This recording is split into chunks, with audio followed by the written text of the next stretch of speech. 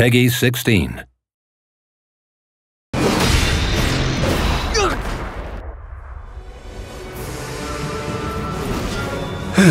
Your persistence is tiring.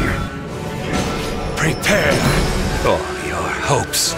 Will be reduced to ash! Feast your eyes. Behold true evolution! A pity. Those who are too weak to keep up with the speed of progress do not deserve to live.